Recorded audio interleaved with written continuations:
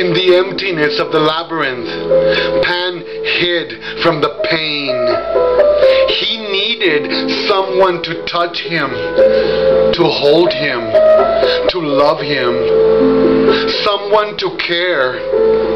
A warm kitten, a lovely red rose, fresh water. Oh, what joy!